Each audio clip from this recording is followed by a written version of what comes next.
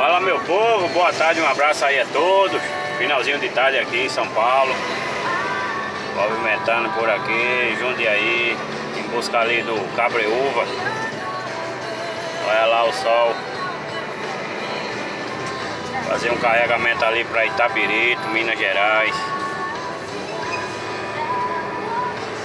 Coisa linda. Você tá doido. Pegando o trânsito aqui na selva de pedra. Isso aí, rapaziada. Um abração pra vocês aí, tá bom? Fique com Deus, aquele abraço, tudo de bom. Deus abençoe cada um de vocês.